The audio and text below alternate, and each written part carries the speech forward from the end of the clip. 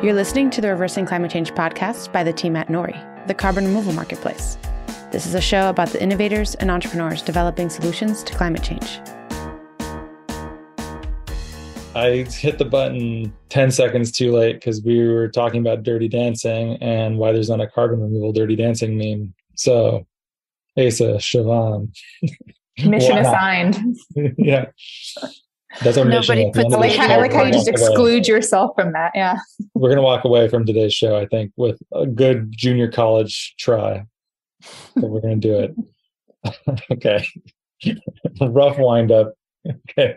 So here, as always, Siobhan Montoya Lavender of Thanks a Ton, and also working with Nori. Asa Kamer, producer of Carbon Removal Newsroom, also a frequent memer and co-host here. And Siobhan, would you like the pleasure of introducing our guest? I would very much. Thank you, Ross. Yes, we have Christina Beckmann with us, who is the co creator of Tomorrow's Air, which is incubated by the Adventure Travel Association. Welcome. Hi, thank you. I'm happy to be here. We are very happy to have you. I noted that uh, today is World Tourism Day. And I was like, these Nori people are so on it. It was They totally invited- intentional. The yeah. tourism person because it's World Tourism Day. I listened to some like Planet Money or 99% Invisible or something about how those days get chosen. And I'm pretty sure there's just like fleets of lobbyists who just Yes. like insist on creating these. Do you want to? I have a brief, superficial exposure to this because when we started Tomorrow's Air, it was like 2020. And I decided that we should have, like, why do we not have Carbon Removal Day? What is wrong? What is wrong with you people? Amen. And so I got into this a little bit like, how do you propose a day? And I went to my friends at the UNWTO who make World Tourism Day and was like, we need carbon removal day. And actually coming from the tourism industry, this would be the best possible thing because we would be out in front on carbon removal. And I spazzed all over them and they were like, we don't know what you're talking about. But I did learn that is a lengthy process and a lot of paperwork goes into it. And you probably do need to hire somebody who makes it their job. How, Yeah. how much? We'll, we'll start the Kickstarter campaign right now. yeah, I was gonna say, how much would it cost? Do you think? Oh, yeah, I guess you employ someone, but I wonder if there's like fees and other other Stuff. hurdles. Stuff. I listened to your most recent podcast with the gal about how to know when to quit, the poker Oh, player. Annie Duke? Yeah. yeah. And the, the line she had in there about like, if you're working in climate, you're probably somebody with creativity and grit. And you should think about where your time is best used and not pursue dead ends. And so maybe getting carbon removal day is not the highest and best use, but it would be cool. my proposal for carbon removal day is that the first one is April 22nd, be- 422, because we have, aren't we like 422 parts per million? Oh, that, see? and then as it goes up, the date goes back. But then if we bring it, then if we oh, bring it back down, the date can go earlier in the year. Wisdom. Oh my God, Asa, you have to make this. I told you this is what happens. He brings in these gems. Yeah. Yeah. Have any dates moved before or any spe- special days? You know, that, that could be a first. So Look Some- at the big brain on Brad. I don't know. We have to look it up. Doing All Pulp Fiction on us. That's a nice Yeah. reference. Well, you got like Jewish holidays. Uh, what? And I guess Ramadan moves too. and then also Carbon Removal Day. So it's reli- all religious holidays that are important, right? yes. I can imagine the paperwork that would go into that, and then figuring out like which point, in the, like, do you do it during the winter when, or during the summer when the carbon removal, the carbon in the atmosphere is different, Oh, right? So that's like, true. Or do you have to stamp it like in the shoulder? There are annual fluctuations, so you'd have to like take a. yeah. And there'd An be an average. agency eventually fully staffed with a lot of people who work It's on like it. You just created the the office from Brazil, basically, is what, what it would take. I don't know if you see that Terry Gilliam movie. That's what it would oh. take to execute this vision. Anyways, I'll put a link to it in mm-hmm. the show notes if you need to see. All right. So long as you're referencing 30 year old cinema, starting with mm-hmm. Christina, why can't I also do Brazil? And the, the dirty dancing discussion that oh, happened. Oh, and Dirty Dan. Well, should we do that now or do we want to let it? That'll be, well, I think we should just release it on our Patreon and people can. Oh, yeah. yeah. This is my running joke for one that we have a Patreon for all our dumb conversation, but maybe one day it'll be real. Maybe, maybe that and the carbon removal day will be real. Yes. I'm not sure that I've ever liked any podcast enough to want more of it that I'd have to pay for in like a weird platform. Yeah, I Have you ever liked anything nearly that much? Sam was- Harris making sense. Oh, so you But- you liked it enough to do that? Yeah, but I don't, but I think it's not through Patreon. I don't think, but I did. And then it was a weird thing like access to the pay only content. And then I actually don't use the pay only content all that much, but I keep funding because I think Sam Harris is so cool. That's cool. So you're just you're just in it just to be supportive. I guess now, yeah. Hmm. Uh, like I don't listen to the paid stuff as much because his shows are really long and the live free stuff is great. And it's, Maybe it's, it's just good partly karma. as- good Yeah, karma as well- a podcaster yourself. and it's aspirational because the paid stuff is very the mindfulness practice and the meditation, all these things that I aspire and desperately need, but don't. I do them in fits and starts when I'm at a low ebb. And then when things perk up again, I forget that meditation stuff. I don't think if there's anyone that I feel that strongly about. I guess if we're talking about podcasters, I could listen to Dan Carlin just go.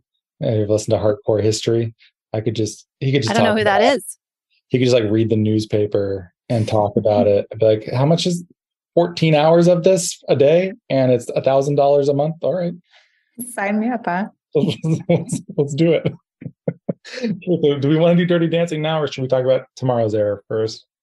Let's think- talk about tomorrow's air first. Okay, okay, very responsible choice. Definitely. Okay. Well, I thought we'd actually just start off talking about before we even get into CDR and tomorrow's air, just talking about travel in general and like how you got into travel and why why you were called to this profession if you were indeed called to it.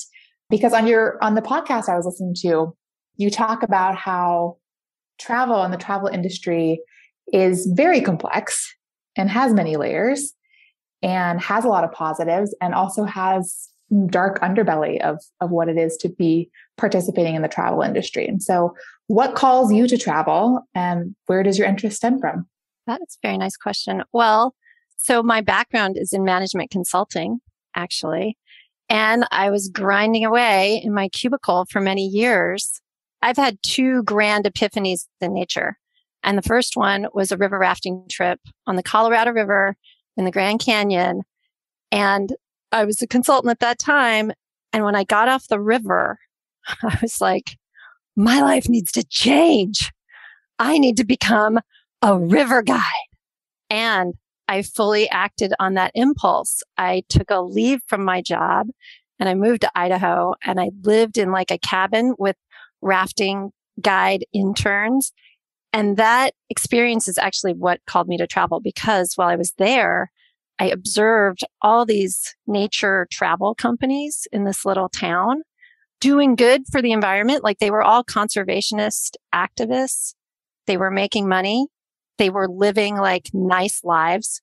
They didn't seem like come from my perspective, right? Commuting Washington DC, suits, billable hours, like they seemed unfettered and glorious. And I was like, I clearly have to do this. I have to go find a way to work in tourism. So that's what got me started in tourism. I was could not be a river guide. I was a terrible, like I rode the gearboat like twice and basically was worthless.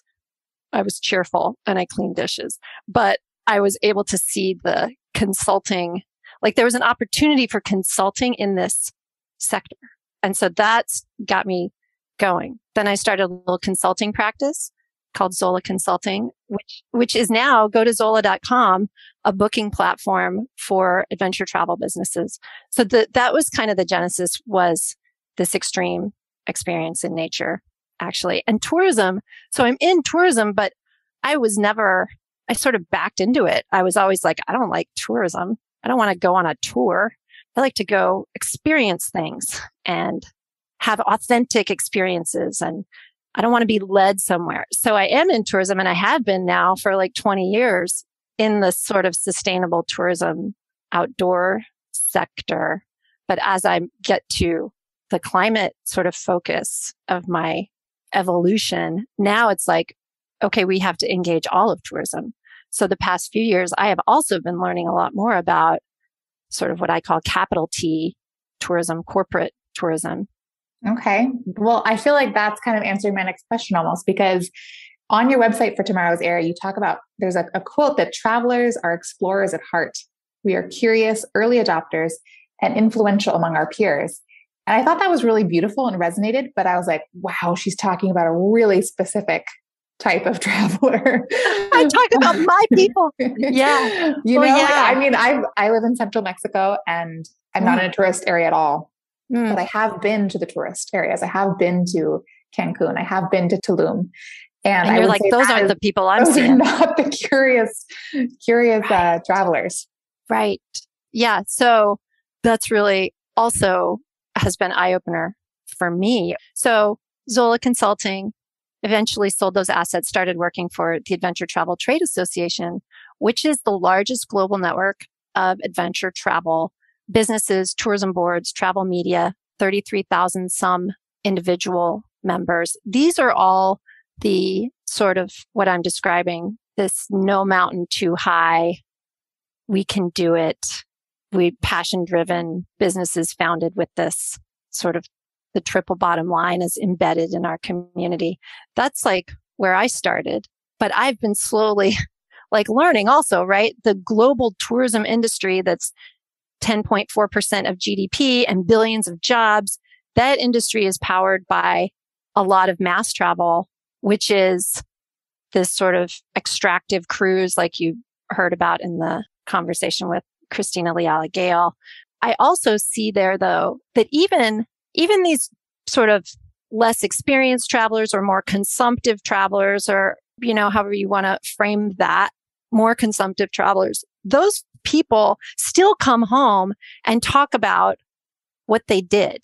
They are vectors of inspiration. They can be. So I know that like the adventure travel community that I'm starting from is very much like they are great carriers of a climate action message. Now, package cruise tourist who is buying a four day tour at the lowest possible price so they can unwind for a few days is maybe not our early adopter traveler.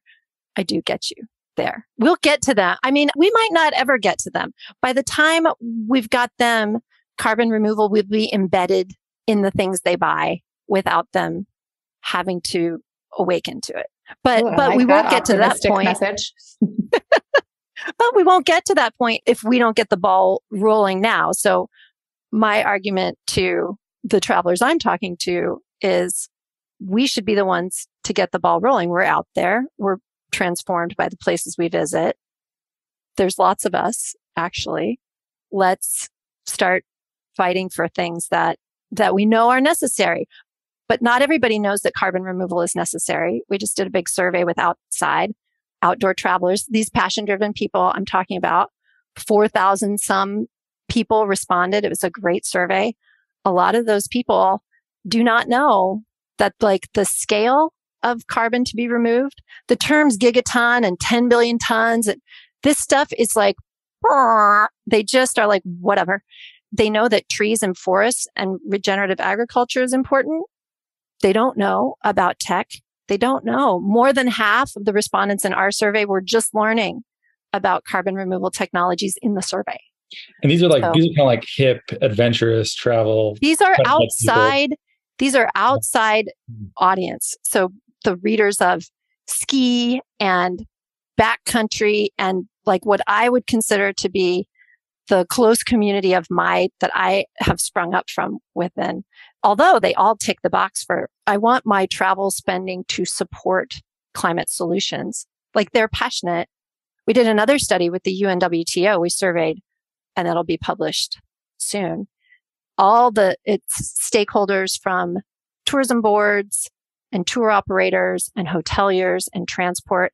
And those folks are also passionate.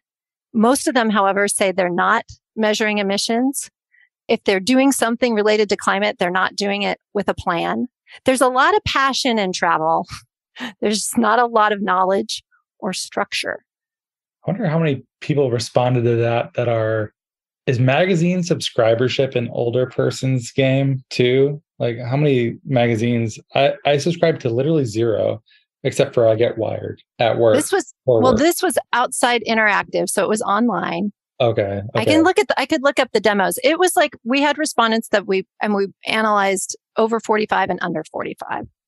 Mm, mm, mm. Okay. And I could find the actually I don't know exactly Well, what I just wanted to sound smart and pedantic real quick. No, but that's true. That's a terrific point because yeah, I should look it up while we're talking. The assumption in the tourism circles, which this is when I sort of previewed these results in a conversation earlier with the tourism guy, longtime tour operator. He was like, people over 45, I bet don't care about this and won't pay more for it. And I was like, no, no, no, Garrett, they're equal. It's not just the younger generation who sees like older travelers also will spend money. They say they will spend money on sustainable options. That's the other like big conversation going on in travel is the behavioral science aspect. My colleague Milena, Milena Nikolova studies this a lot and talks about this. Putting the sustainable option first, like carbon labeling on experiences or on, you know, whatever it is you're selling and then putting the most sustainable option at the top. And how can you, how can you dress up the sustainable option? That's kind of like the opt out option that they're doing in Oakland, right? Where you can like, I think there was like a rule where you now have to like, or you have to opt in rather, you have to opt in to plastic cutlery Oh, that's interesting. at takeout and just I didn't do know that, that. little switch where you have to opt in has like dramatically slashed the amount of people that are using plastic cutlery Wow. in their takeout. Yeah. Um, so I think, yeah, that's really interesting what you're saying about behavioral kind of forcing almost. Is that, is that behavioral forcing? What would we call that? defaults or nudges. Those are those are pretty minor ones too. That's like not a huge behavioral. Like there are some that might strike you as unethical, but those strike me as pretty minor interventions. I think. in travel, the flights get all the attention because for somebody who travels a lot, the flights might be the biggest part. There's a, since we're in like a data, in a data string right now, there's a new, a McKinsey Skift report that I noticed last week that did the emissions of all aspects of a trip, like Boston to Chicago. And so it had like your taxi to the airport, your shopping, your hotels, your food, and your flight. And the flight was like 355 kgs. All the other things added up together were 505 kgs.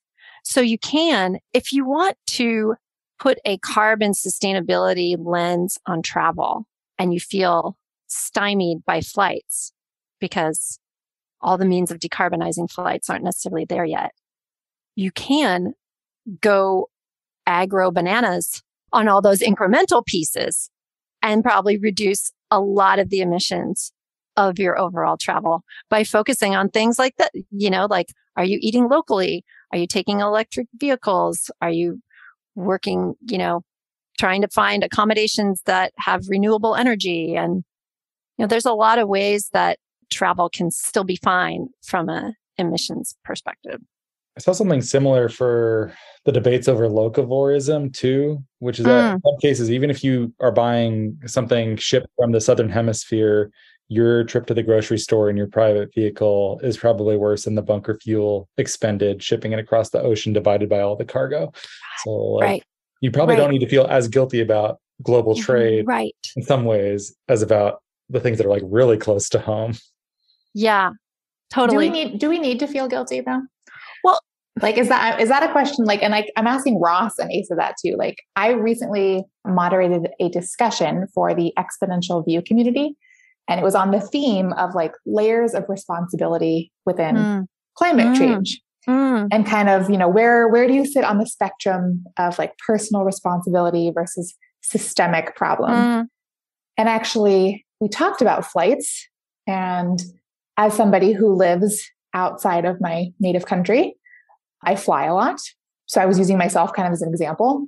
And then we kind of got into the whole like, you know, BP is the company that came up with the concept of carbon footprints. And what is this personal responsibility level versus the systemic issues that exist within, we exist within a carbonized world. And I think I said something like, is the problem that I fly and that I choose to live internationally? Or is the problem that we haven't figured out sustainable jet fuel yet and that we haven't built trains between the US and Mexico?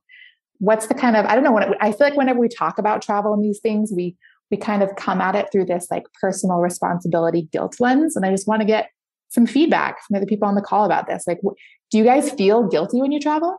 Can I go first? Yes. Yeah, I, so much wrestling over this exact thing, uh, especially in my organization, which is we are the sustainable travel people. We see all the good that travel does on the ground. It funds conservation efforts. We've seen dramatic problems with COVID, people not traveling. You don't get the tourism revenues in places where people need that to conserve ecosystems. And yet at the same time, the emissions are undercutting the good we're doing on the ground. We have started, and also with, I have to kind of credit this guy, Mikey at Intrepid Travel, but he's like, we call it ROI of travel, Christina. The R, what's the ROI of your travel? So think about what you're doing when you travel. Where's your money going when you get there? I think we have to have a, a more nuanced look at it all. And it's much easier. I think these kind of binary arguments are easier to make, like the flight shaming arguments are easier to make. Why are all these guys getting on a plane to go to the climate talks? Assholes. But you have to be in person in some situations to understand, to form relationships, to advance the dialogue.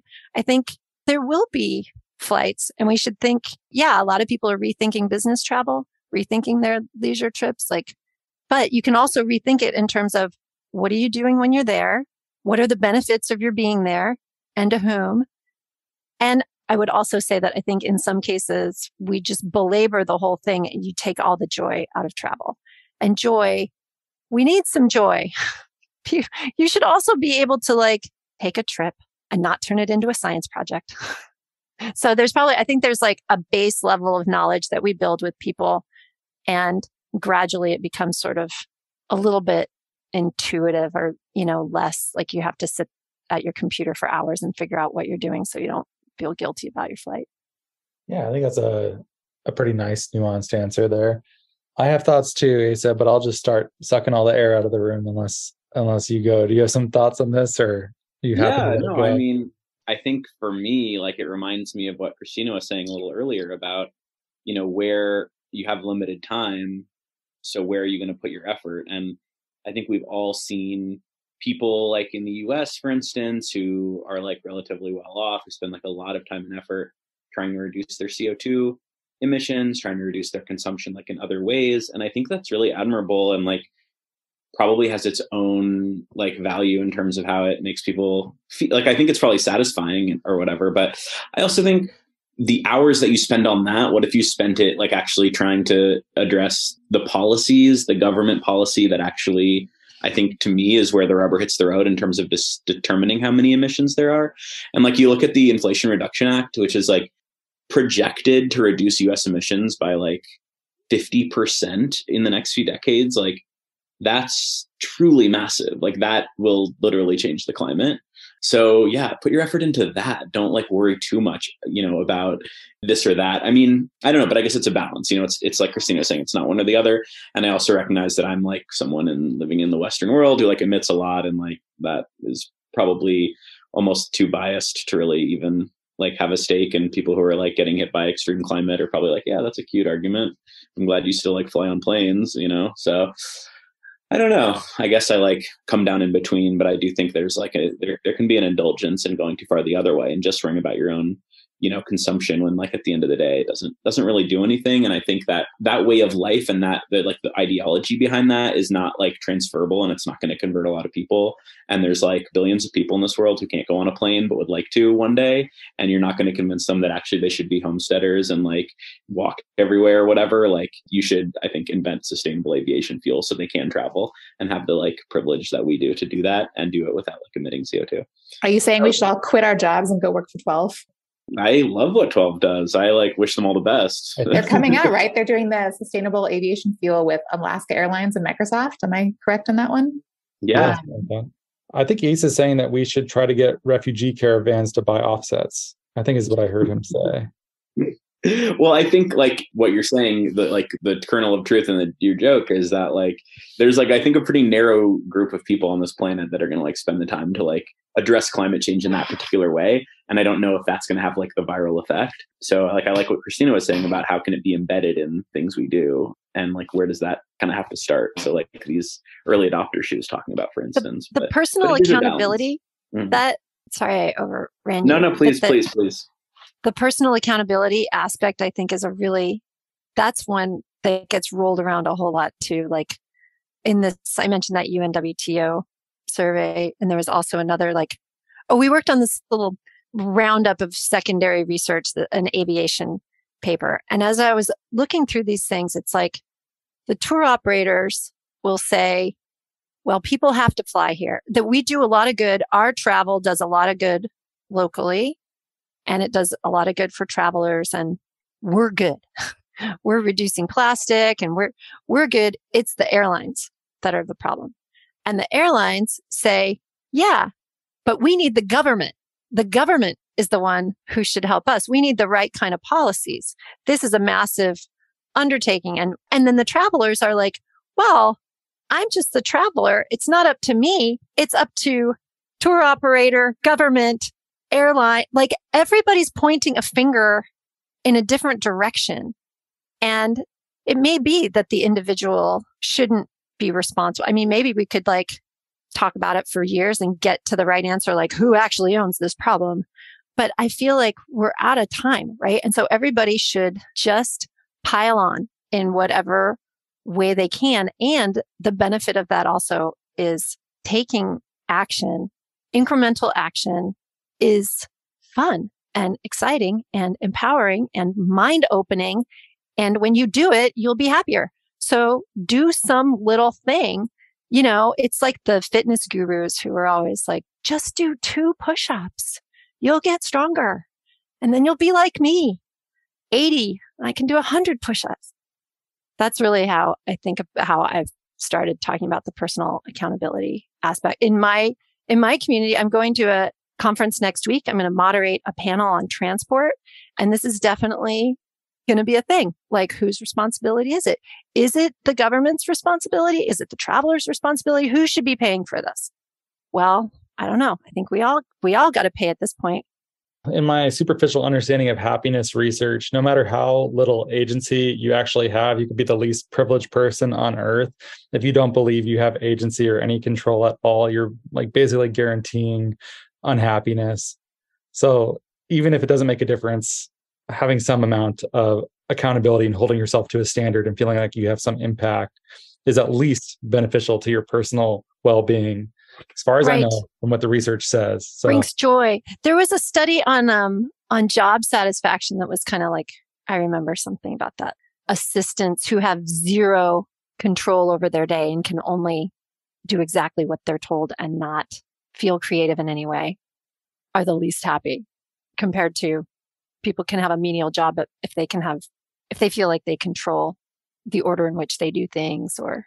Another like angle to this conversation is that like these findings that the people with the top 1% of wealth are responsible for like a huge percentage of the world's emissions. So maybe just talking about like should all people feel responsible in a certain way or should all right. people be accountable in a right. certain way isn't really the right angle. It's like who exactly right. we're talking about. Because if even those one like took a different view on accountability, that would change things. So yeah, probably something to keep in mind. I agree with that. I totally I do agree. Well, and how does how does tomorrow's air fit into kind of people taking action and stuff? Because we haven't actually have you explained tomorrow's air yet? I would for our listeners, let's let's explain what tomorrow's air is and when I go on the site, I can see that I, as an individual, can take action or a business can take action. Tell us a little bit more about that.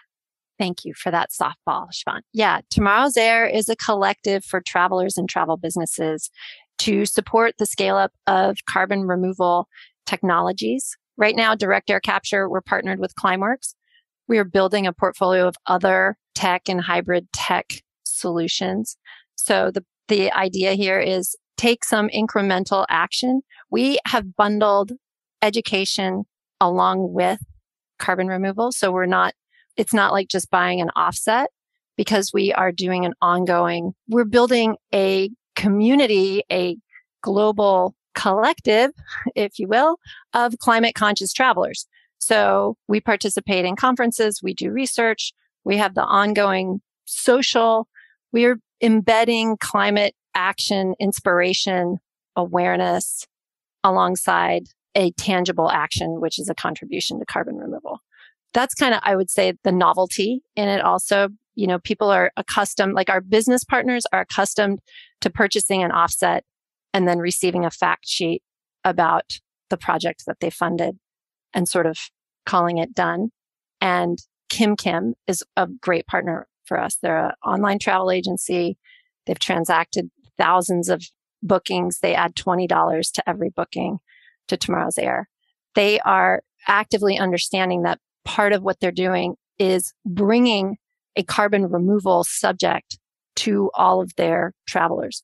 That's the stakeholder engagement. The crux of this is like community building and socializing and mainstreaming the fringe. And we have to do that with persistent, exciting, interesting communications, which you will find on the Tomorrow's Air Instagram, which is gorgeous and run by my colleague Esther. Wow, I never thought about how much of what you do is very much an educational and communications effort more so than straightforward travel agency kind of work. It's quite similar to what I do, actually. Is that why we're pals? I think maybe. maybe. but I don't know if you remember this, Ross. Years oh, ago, yes, I, remember I remember so well. Yes. Oh my god! I remember I, like, I was in the kitchen talking to you about it. Yeah, it was very exciting. I slacked Ross on Air Miners and was like, "Hey," and then he called me back. I about died. My husband, I used to make John listen to this carbon removal podcast on our drives to go skiing. I'd be like, do you mind if we listen to this again? And John's like, okay. it's either this or Sam Harris, and you decide. There you go. well, Sam Harris, yeah. Anyway. Are you the only kind of travel related entity that's that's providing removals? Because I feel like a big issue that we can talk about or not, because it's pretty broadly discussed already, but is like the whole kind of John Oliver controversy, the whole idea of avoidance credits, the whole idea of bad BS offsets. And I know that when I go and I look at an offsetting option on an airline I'm flying with, and they charge me 250, and I know that I'm flying between Mexico and SFO, and that's about, you know, 0.2 tons. I know that 250 is not really an offset. I mean, it's, it, it's not an mm-hmm. offset in the sense that it's not then taking those molecules of carbon dioxide that are being generated and storing them away. And so carbon removal actually is removing molecules out of the air. And so who else is doing carbon removal within the travel industry? I think like South Pole, for example, if you go and individuals can purchase offsets from South Pole, South Pole is selling removals. So you can probably go there. Tomorrow's Air is the only gang talking to travelers. We're the only ones saying, Hey, travel, let's all get together. We are billions of international travelers. We are 10% of global GDP. We have influence and muscle. Why don't we all get together and be the leading edge of transforming travel? So tomorrow's air is the, we're the ones, we're the ones doing that. I'm sure there will be others. I mean, tour operators and businesses do have their own like sustainability projects and offsetting projects. And there's lots and lots of that. But we're the only guys like in travel banging the drum for carbon removal and sort of that, you know, on the spectrum of ways that we can remove carbon from natural solutions to technological solutions. We're kind of out there on that furthest edge because I felt like that's that's where we should be. We should be helping scale up the innovations that we need. We should be investing in these. We should absolutely be part of that. We're the best people to be part of that because we're the explorers. But yeah, I think we might be the only ones for right now. You have a cool initiative that I felt like I could have made some memes out of, which is you have this thing called like travel, sustainable travel questions and answers, where you have. Oh, people, like in the blog? Yeah, where you have people like do little video messages Yes. of their questions and then you respond Yes. to them. Yes. Um, I was thinking we should do some You've live. done some serious research, Siobhan. Thank I was you. thinking we could do some live travel questions and maybe it would turn into meme fodder since I felt like some of the ones some of the ones I looked at, I was like, I could make a meme Like, about this. okay, like what? Like here, I can you share your screen and show us what you're talking about? Um, And let me let me pull it up. Yeah. This is this is the I'm remembering one like Gabby talking about food. There was a little kid, my friend yeah, uh, Natasha's talking the nephew. snowman. Yes. adorable. Okay. Again, this comes back to talking about like that you're using education as one of your tools. It's not just CDR, it's CDR and education. And so people can call in with these questions. Um, so it's like, you know, this week, Nico from Canada asks, can travel ever be good for the planet? Or this week, you know, Ruby from Australia asks, I try to eat consciously at home, but so yeah, I just thought this was like a fun initiative where you're you're having people ask you these questions live. And some of them are hard questions. That can travel ever be good for the planet? That's a hard question. Yes. Yes, Nico. I think I said something about love. Yeah. You know, so when people buy carbon removal through tomorrow's air or invest in carbon removal through tomorrow's air, they're also helping build this movement of climate conscious travelers. They're supporting, so 75% of our money we take in goes directly to the carbon removal partner. And 22% is like education and 3% is admin. We have a staff of three that needs to build, obviously, but that's our value add is like we're trying to put this kind of stuff out and build awareness for what does it mean to be a climate conscious traveler. So some folks, and this has happened, where they're like, Oh, I was so psyched to hear about Climeworks from you. I just went to their website and bought it from them. I'm like, cool. But, you know, eventually, as we have more carbon removal suppliers in our portfolio, I think that'll be less of an issue because we'll be able to sort of, we're curating. And if I kind of step back from all that, I'm like, am I contributing to the common good? Yes, I am. People who wouldn't be following climate stuff are following travel and finding out about carbon removal through tomorrow's air, which is like, for me, that's like a big high five. And I would love, you know, sign up to the newsletter, follow on social.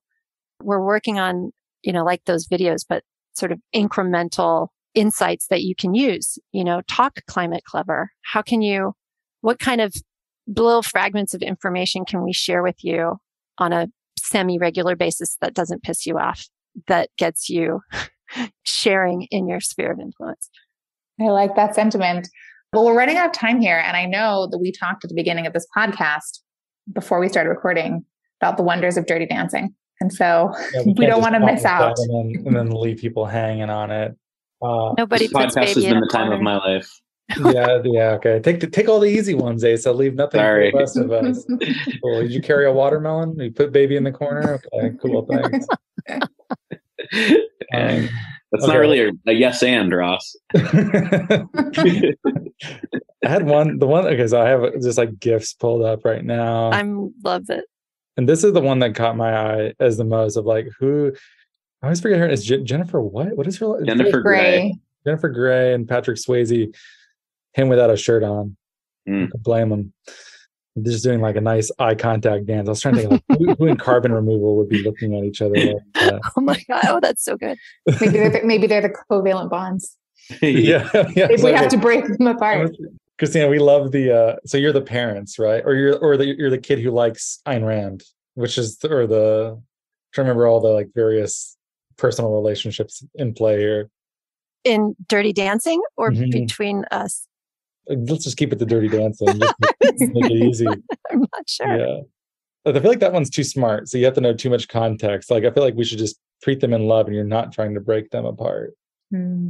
It's like Okay, we'll keep scrolling. What's another one? Now I'm hypnotically like staring wait. at the eye contact happening there. That is a very hypnotic gift. So here's here's one thing. This is this is great. Like what is what does this signify?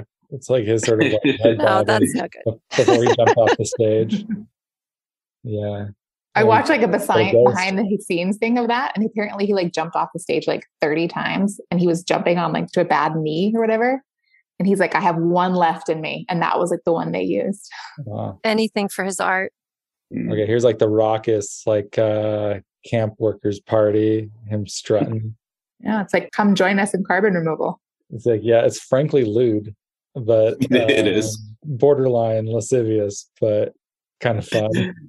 The last conversation you had with the Andresen guy who was talking about memes, and he was saying like 5% of people will get it, but the people who do get it will really get it and love it. I thought that was, that was really probably quite true. But I feel like carbon removal, maybe it's just because I don't know, because now I have some carbon removal friends. I don't feel like it's that arcane. And I feel like it's blowing up, you know, like it feels like it's mainstreaming quite quickly, right? Oh, I Yeah. hope that's the case. I mean, I kind of feel the opposite sometimes, where like Do in you? my Well, in my in carbon Mexico. removal bubble of friends, I'm like, oh my god, everybody knows about this. We're all just talking in circles. And then the second I step outside that bubble, I'm like, oh man, nobody's ever heard of carbon removal. So here we have this scene, this part of the final dance sequence when everyone comes strutting in together, and that's like me when the carbon removers show up. And it's like your Those are the air miners. yeah, the air Shh. miner That's Tito. coming. Tito's rolling. Yeah, yes. Tito Swayze. Tito and Jason are in the. In the That's a front. great idea. Is Tito going to like this? That's an open question that I have. like being compared to Patrick Swayze is pretty good. I often get like Woody Harrelson, which I mean, character actor, talented guy. Would you describe him as the most handsome actor out there? No, but uh, that's the most common one that I get. I'd take Patrick Swayze personally. I noticed no one is building up my ego after I said that, and now I'm gonna have to edit that. The? Oh, Ross, you are so Patrick Swayze. Oh, you. I w- that's, when you were talking about Woody Harrelson, I was thinking of just like his erratic, like, isn't he sort of a like wild? Are you? And then I was like, I don't see Ross as being very erratic and prone to. See, was he a, a crazy guy in his younger days or something? Or yeah, I guess I don't. I think he is now too. Like he Oh, now has too? a dark. Okay. He has a dark underbelly. yeah. Oh, oh, hmm. Mm, Mm. who Not so knew? familiar with Maybe you're more of a Matthew McConaughey, just a straight up good guy. Yeah. all right, all right, all right. Uh, Jason Hockman did a good uh, "Dazed and Confused" meme. He did, yeah. cool. I really liked that one. Yeah, it was um you want to remove some carbon dioxide? It'd be a lot cooler if you did. Yeah. Great wordplay in there. Double entendre, yeah. Some of these ones are like we haven't done any that have this sort of like downright sexy to them, and for the most part, that's good. I try to. Know that our memes have to be sex- like a lot of these. A lot of these like the intimacy between them as they're as they're looking. Do they actually like each other? By the way, I feel like I read something that they kind of like hated each other by the end, but I've heard Really? some- I don't know. I might just be making that up. I feel like I've read stories of like love story movies. Oh, I think it was The Notebook of Ryan Gosling and whoever. By the end of it, I think were like really angry at each other. Anyways, now I'm just I have no idea what I'm talking about. You're just exposing your fandom. Yeah. Anyways, though, so right now I like this like Air Miners Rolling Deep one. Yeah, I like that one too. I also like that dance one from the top. I think that was my favorite gif of Well, all. you just have to figure out who the characters are. I think so. Or who's We do one with the lift. Is there any like technology that oh. requires lifting? I was thinking like maybe this is a policy thing of like what is being elevated at this moment in time by policy. Oh, that's a good take. we This could is- now have, like Outside the five dirty dancing ideas, so we could make all of them. This is this is a really dumb idea, but we could reverse it. So he's pushing her like down, and then it's like kelp getting like.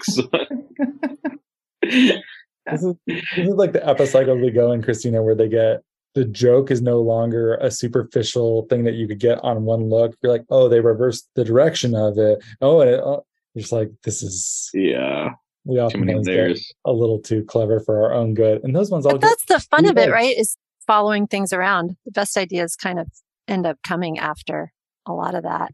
they're either like the first idea, best idea, or Mhm. we- we sweat over it for a month and then we release it and those ones are often not the ones that perform the best anyhow so you're like why do we why do we spend so much time fine-tuning this yeah. I A feel lot like of effort for those five likes. I want to look at Yeah. Roadhouse. Are there some good Roadhouse scenes of like fight scenes? Like, let's see if there's some. Oh yeah, I get some roundhouse kicks.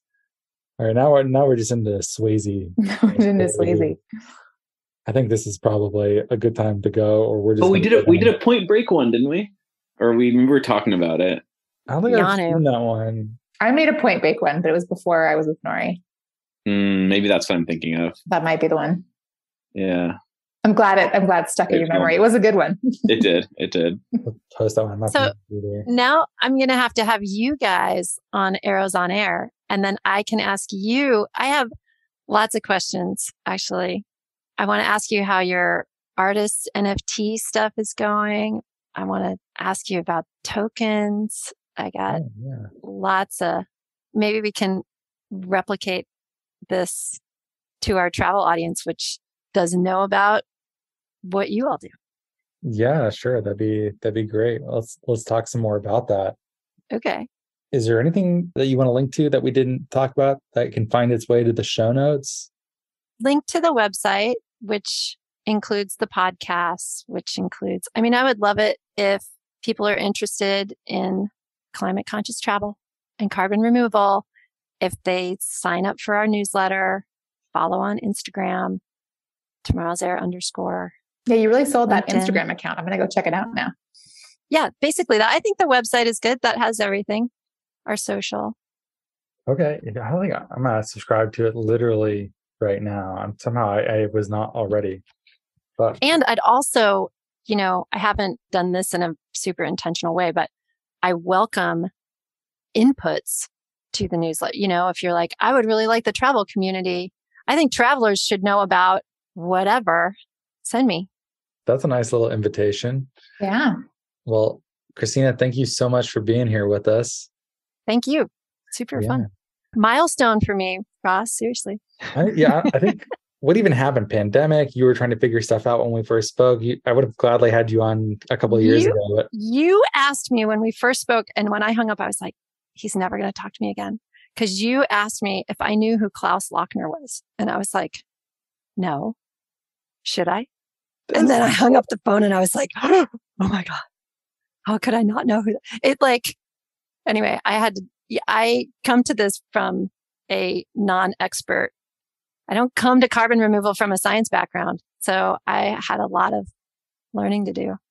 wow, this is in, in your memory is such a high stakes conversation. And mine, I know. Christina's so nice. because I was so brand new.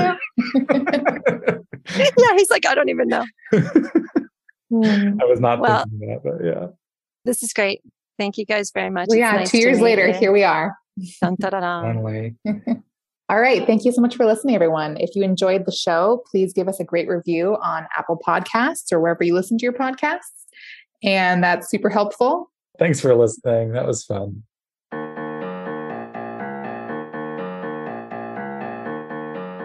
Thank you so much for listening. If you could please subscribe and give us a great rating and review on Apple Podcasts or a rating on Spotify, that'd be much appreciated. It helps us get our content out to more people. You can sign up for our newsletter at nori.com, follow us on social media, and we will catch you next time.